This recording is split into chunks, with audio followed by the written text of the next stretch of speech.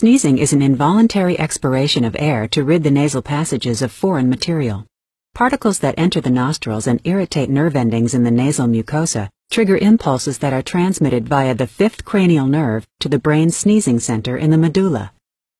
This sets off a respiratory response. Rapid inspiration fills the lungs, the epiglottis and vocal cords close, and the muscles of exhalation in the chest and abdomen tighten in a spasmodic contraction.